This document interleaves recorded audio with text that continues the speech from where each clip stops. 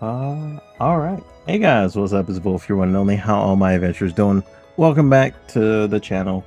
And this is going to be a little bit of a developer note for the Unreal Engine because I did say I was going to save up a little bit of money and see what, you know, some Unreal Engine developers are capable of and see if I could find one that's skilled in RPG. I did find one uh, but they won't be available until the 26th, so I kind of have to wait until then. In the meantime, my Godot developer, I haven't really like had much contact with. He hasn't really said too much, so I gotta see what's up with that sooner or later. I just don't want to, you know, be very press heavy or anything like that. I say it's been like two or three months now I don't think it was like anything uh, like significant I asked, but I gotta also think that people have lives and things they have to deal with. But um, this is the new map for the Unreal. Uh, it's a very large map, larger than I would love it to be.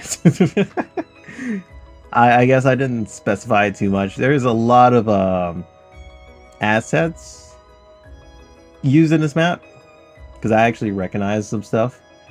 But um, it's fine because it's supposed to be a placeholder anyway, just to give like you know a basis. Uh, I do have another person who's working on a model, you know, just to see if you know they can make a map that fits my game, and if that goes on like really well, if she actually does a good job on that, we will be slowly piecing that map together and getting that done. There's quite a lot of things that need to get done, and it's for what I seen on the order, it's going to take like a week for this house to get done. And we can see what goes on with that. And with that said, before I keep going, thank you guys for all the support on the Monster Girl Utopia starter remakes. I really do appreciate the kind words and everybody being interested in it. I'm happy that you guys are very interested in it. Like it actually does get me excited and motivated to try and get this out as fast as possible.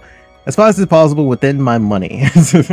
Because like I said, I work and I really don't have the time to try and learn development myself and try to get into that. So I kind of, you know, have to hire Fiverr developers who can, you know, put in the basics, get that ready, and then I can go in and you know change stuff, put stuff there, and get it going. I am pretty much the producer. That's the easiest way of saying it. I am the producer, the director. I'm directing of how the game is going. But yeah, there's a lot of fun and neat stuff, ideas that I have going on. I will try and upload more videos about Monster Girl Utopia, but like I said, most of my most of the stuff I post about Monster Girl Utopia is in the community tab of my YouTube channel. That is where you'll mostly find details and stuff about it. Most of the time I will post on there.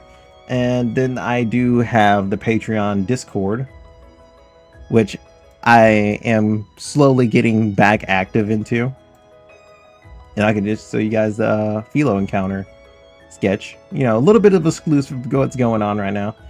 I haven't really posted in here a lot because the only person in here is Alice, and Alice is in my main my main Discord, so I haven't really had a, a, reason to post in here. But I'm gonna start trying to be more active, get this Discord going. I have a few like older concept arts made by uh made by my my uh second artist, but I haven't really gotten any concepts from her right now because, like I said, my budget has extremely decreased from 500 a month to 300 a month. So I got to keep that going. So I haven't been able to go into getting new songs made for the game. So I still only have those three that I have on a channel. And I haven't been able to go into getting backgrounds for the battle scenes made yet. Because I am focusing on getting remakes and getting the map and getting a developer that pretty much takes all 300 and sometimes i dip a little bit over that 300 a month and it, it kind of gets risky a little bit. So yeah, I'm playing Money Manager Simulator right now. so we're getting that going. So I do have suggestions for Discord, the Patreon, like what rewards would you guys prefer, stuff like that. And you know, you guys can actually give it in this video. What what rewards would you guys like to see on a Discord or the Patreon? Like what rewards would you guys, you know, be interested in? Because I haven't really came up with any major rewards to get people interested in the um Patreon, so I haven't really been posting on it because it wasn't really, you know, my channel was like more of un- in the shadows, if I should say. It was buried in the shadows. So nobody ever like really seen too much of it, and I couldn't really like build a community of it because I I have this principle and this sort of pride that actually is the detriment of my channel. that I hate advertising myself. I don't like advertising myself because I feel like I should be able to grow and pe- and just pull people in with you know my personality. My personality is pretty chilled and ongoing. It's just not. I'm just not like overreact Andy or over expressive Andy. I, I can't do any of that. I'm I'm mostly chilled most of the time. I do make stupid dark jokes too, so that's fun most of the time. Anywho, I'll show you guys the map now. I'll say, whenever um, that developer is is available, this model will be replaced. Uh, this is just a placement holder just to show you guys around a little bit. I say this map is too large. Uh, I wanted to make a smaller map to where frames wouldn't become an issue. So we're going to be doing that down the road. Because this right here... Oh shit, hold on. I have borderless on. That has to go. just clicked off of it. Okay, there we go. Well, yeah, that frame drop is also because of coding too. So that's gonna be a fun thing to do is getting optimized as well down the road. Plus there yeah, there is no optimization. Everything's on ultra right now. I can walk through rocks. I can walk through trees. We gotta do something about that as well. That's actually hilarious. but um what else? Uh after we get done with the remakes, which I think I believe I have 10 more Monster Girls that I currently have that are, you know, official designs that need remade and redesigned, then we can start getting into the new ones, the concepts I had. Because I have concept arts that I never, like, you know, got made into actual Monster Girls. And those are a little bit more on the creepier side once we start getting to those. Because Creepy Monster Girls is something that you guys asked for the last time we did a poll and I never could get to it before the uh, remake started. We have a lake over here. Told them to add a lake because there is. Well, they asked if they if I wanted a lake just because there was a big empty space over here. I was like, yeah, why not? Because I have some ideas I can actually add to this.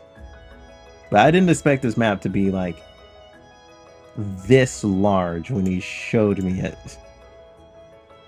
I did ask for the walls to come in a little bit, but I guess I worded it wrong for them. So we're just gonna keep this. I mean, it's fine to be honest. I say I'm not like too pressed about it. I just needed a placeholder map to where we can actually like get the bases going and everything.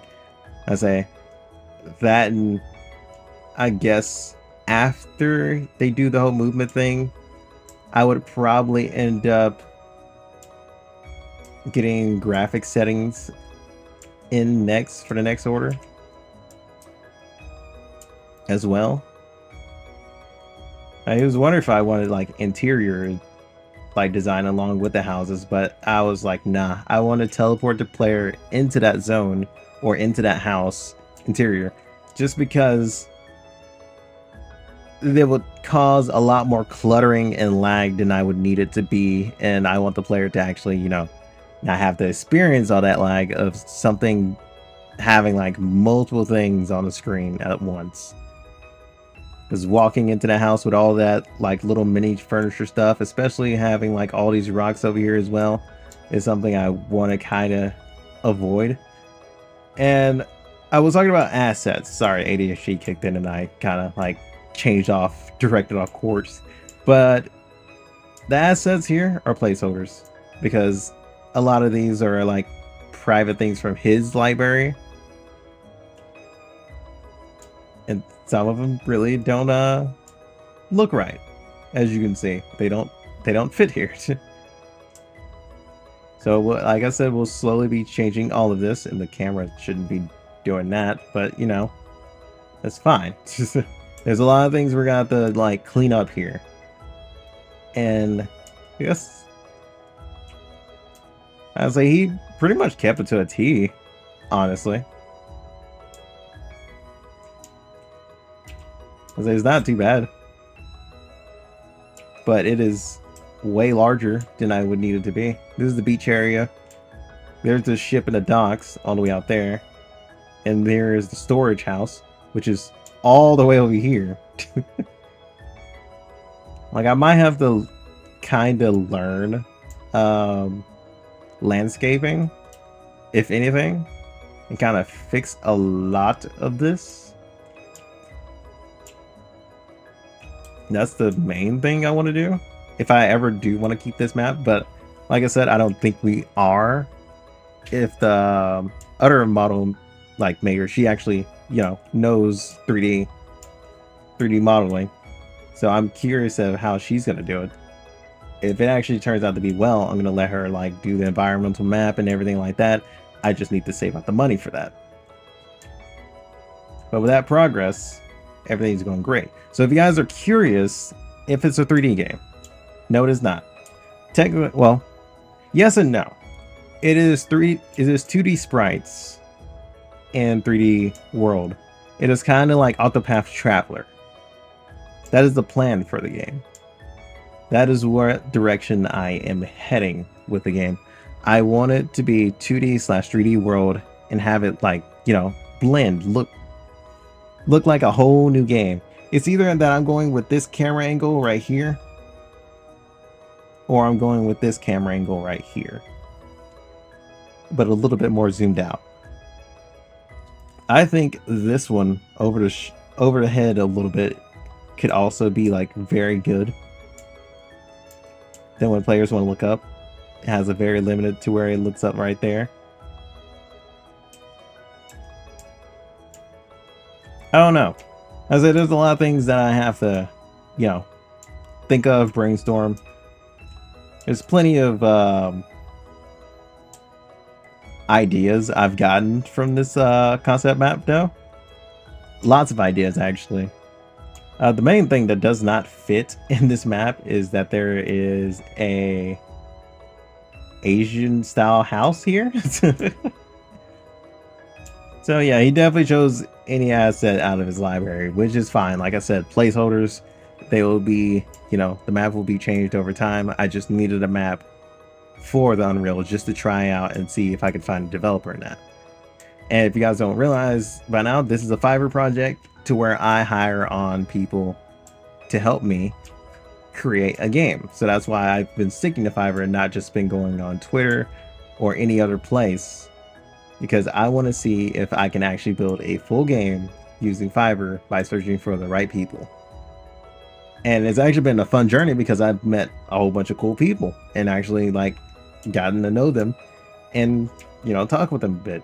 Have I talked with the older ones I've worked with before? sometimes. Sometimes, actually. Sometimes. Not all the time, but sometimes. Especially when I need something.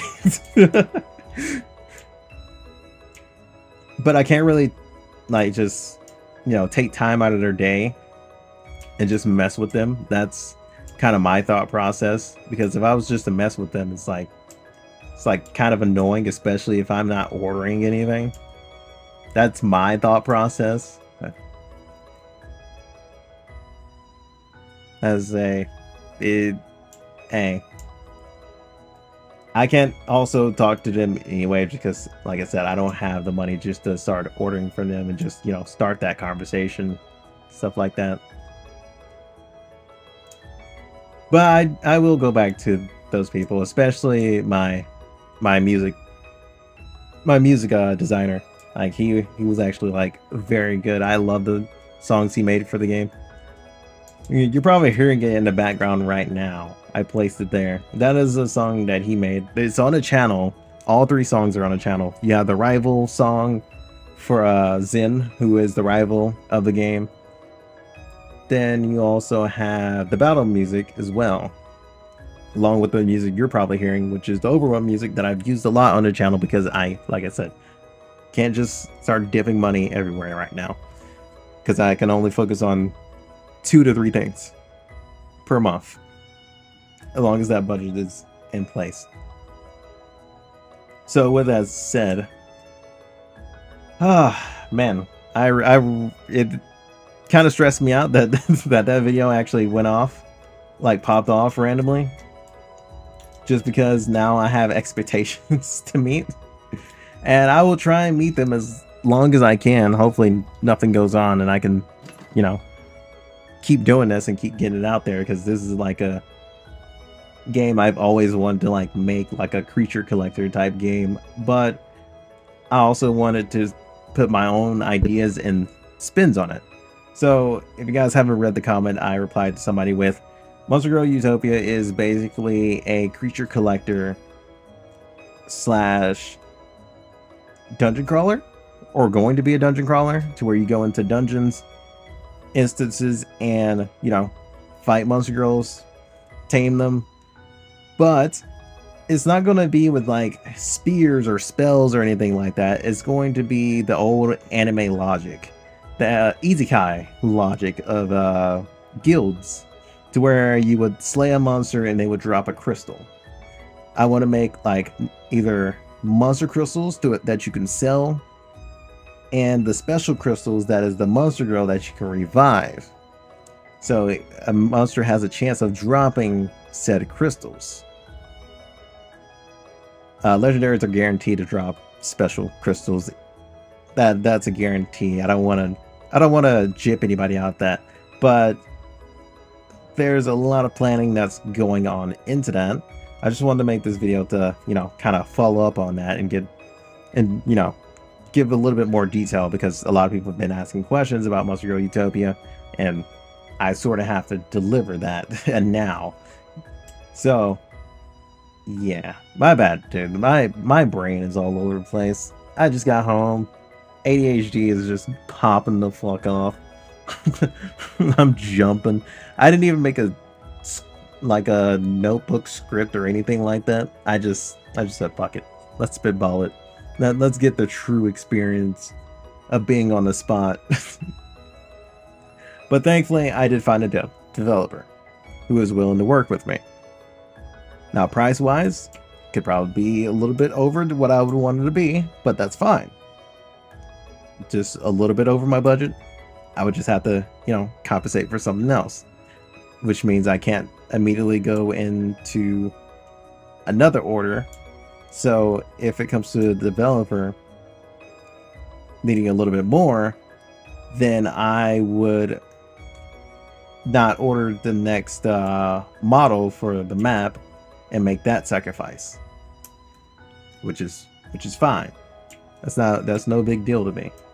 I say it just means that it will take a lot longer for the actual map to get done which is cool.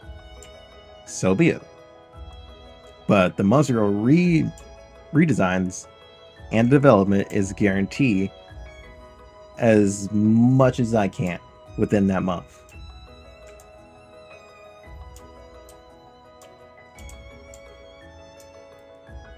Okay. But yeah, I like the map for a placeholder. You have to like the trees. Okay, I'm going through all the trees. Hold on, let me just... Jeez. You guys want to see how big this map is? Yeah, here it is. I do plan on like make if I do keep the basics of this map, I do plan on having like teleport crystals. If she can't do like uh environments, which but I think she can because I've I've seen some of her work is actually pretty impressive. But um yeah. Teleport crystals would be the smartest idea just to get from point A to point B without having players like run all the way across the map and get lost because there is no like distinct like very distinct things here when you start going through like the woods and stuff like that that that could actually end up being an issue as well hmm.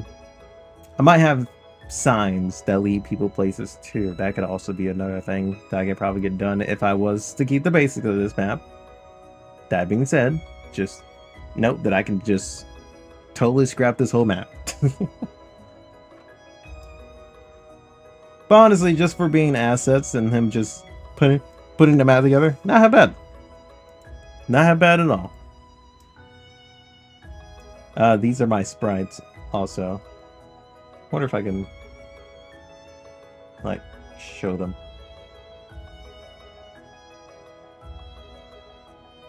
God, just bring up this. And here's the starting character sprite. Uh, the main character action might get redesigned as well. That's the thing. Once these monster girls get caught up, it's either going to be I get my sprite sheet for the main character done,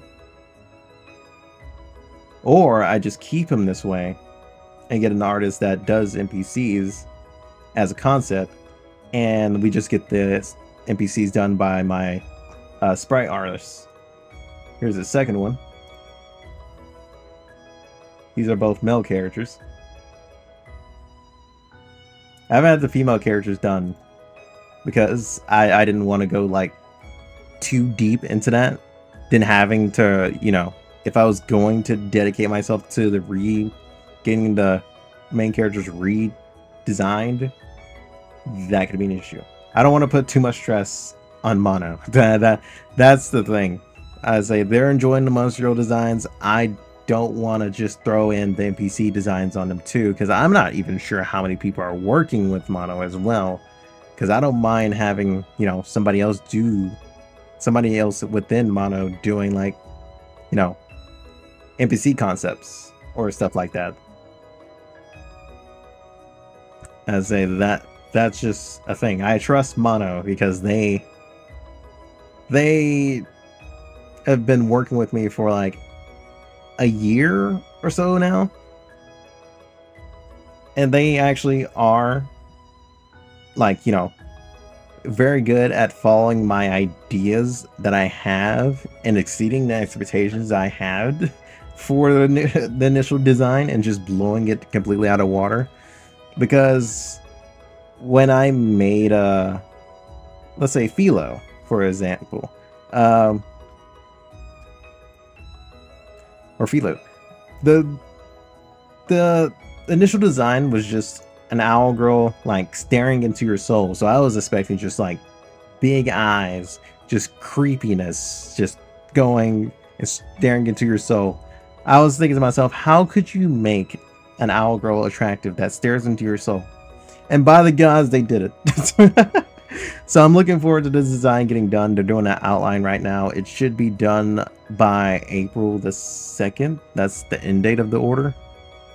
Then we will be going to the next Monster Girl, which will be a secret. Into like the actual sketch is done. And I will be doing the um, I guess, yeah. Yeah, actually, yeah, I will do it that way. I'm gonna be uploading as soon as like a Monster Girls is done. And evolution wise, like if there's a two-step evolution of a Monster Girl, I will upload the video for that. If it's just a one one step evolving girl is just like doesn't have any evolutions or anything, I'll upload that. But if it's like three stages, I'll wait to upload a video showing that off as well. Uh, if you guys are new to the channel, I really don't upload the finished designs on um, my community tab is mostly either my Patreon or my Discord that gets to see those. I mean, the Patreon is also, you know, free as well. There's just something wrong with me to where I just don't like posting like the finished design on YouTube unless, you know, it's the actual like set of it.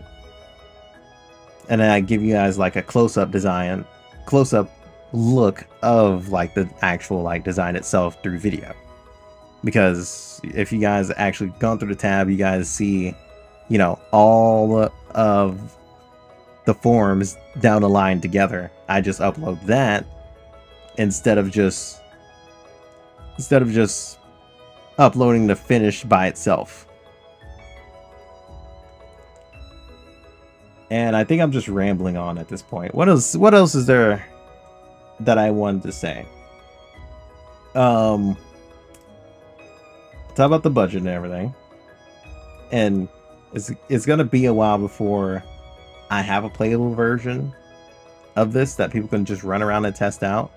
And obviously there's to be frame issues because like I said, this map is huge. It has a lot of asset and clutter on it. But that will get better over time. That is my goal. But Monster Girl Utopia will also be 2D when it comes to like combat. I chose Unreal because the lighting effects and the special effects are something I want in my game. And it's funny because a while ago people were like, hey, dude, this this engine doesn't fit your project. And I'm just sitting here like, that's for me to decide. That is for me to decide if I can make my game in this engine or not, and if it fits that. So I'm doing this now just to see where this will head. Because if it actually works in Unreal Engine, there's going to be a lot of lighting and cool ideas that I can implement into this. And I will be very excited on how everything will transition. So I'm looking forward to it personally and looking forward to the challenge and, you know, getting to know a lot more people on Fiverr that are working with me on this project. Because by the gods, if this project becomes successful, those people will be getting a lot more than my budget is going on right now. Like, tip wise, for like helping me so much.